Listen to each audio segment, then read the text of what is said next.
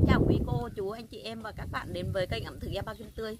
Hôm nay Kim Tươi sẽ vào vườn hái ít rau cải xanh để về ăn cùng với bánh xèo.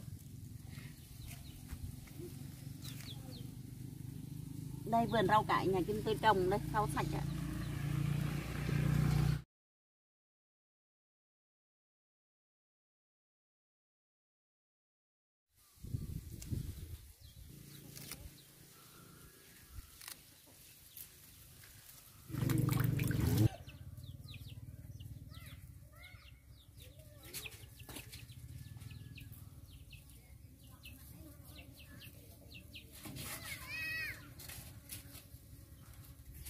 Để đổ bánh xèo thì mình phải làm nhân bánh xèo trước nha các bạn.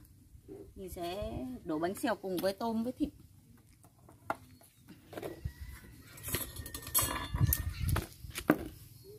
Mình khử hành với tỏi cho thơm hành với tỏi băm á. Phi hành tỏi băm cho vàng. Mình đã phi vàng rồi mình đổ tôm vào. Tiếp theo mình đổ thịt vào nhé các bạn.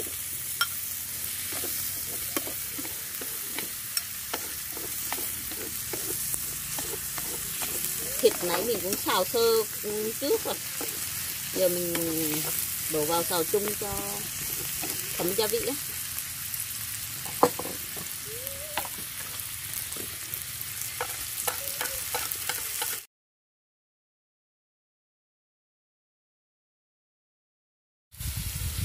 một ừ, muỗng cà phê hạt nêm, một muỗng cà phê đường, một muỗng cà phê bột ngọt này.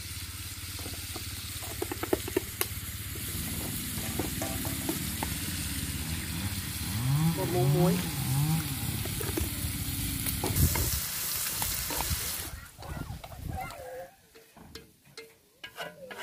Cách mình pha chế bột nhé các bạn. Cách để mình lường bột á. Mình đã chuẩn bị ở đây này. Một gói bột chiên giòn. Một bì bột bánh xèo và một bì bột gạo. Sẽ đổ bánh xèo vào trong.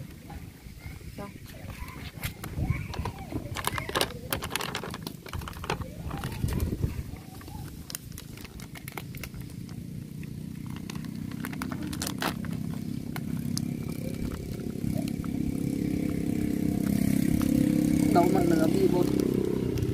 Chiên giòn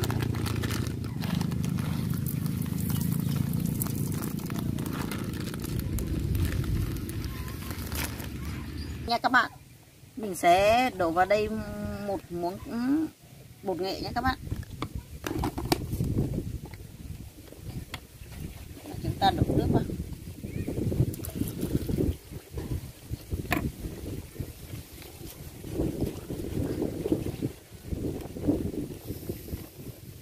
Đổ 2 lít nước nha các bạn.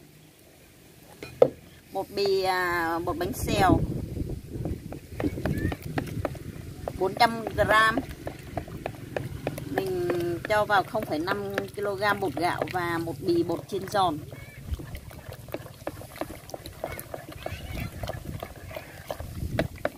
Đánh cho tan bột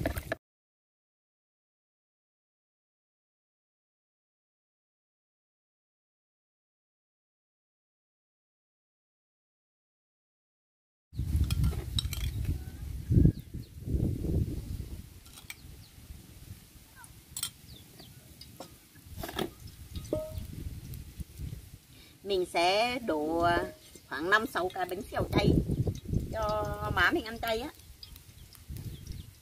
Còn lại thì mình sẽ đổ ờ, mình sẽ đổ bánh xèo mặn.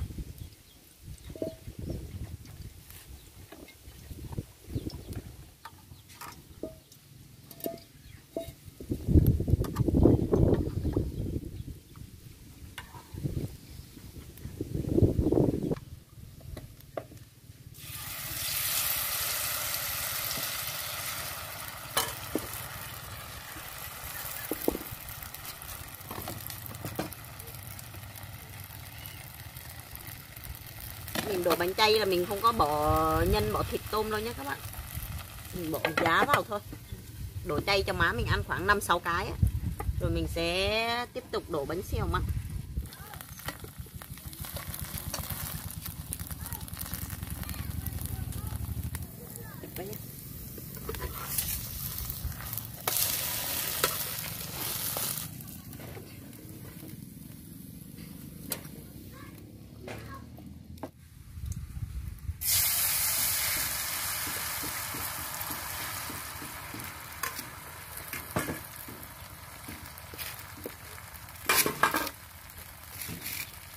Mình đã đổ bánh chay bây giờ mình sẽ đổ bánh mặn nha các bạn thịt với cái tôm nữa.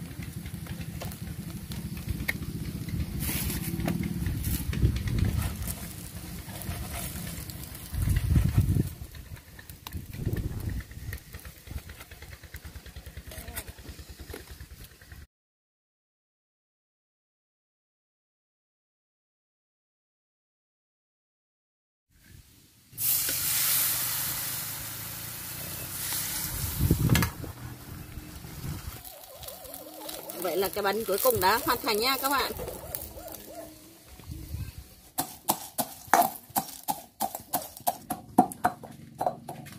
Để làm tương nha các bạn. Mình tận dụng cái bột mà hồi nãy mình đổ bánh xèo á, mình để dừa lại khoảng một vá này, để mình làm tương.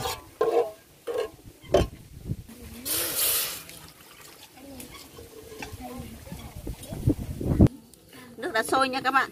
Mình sẽ múc bột bột. Để đũa mình quậy ra. Đậu phộng. Vào một ngọt.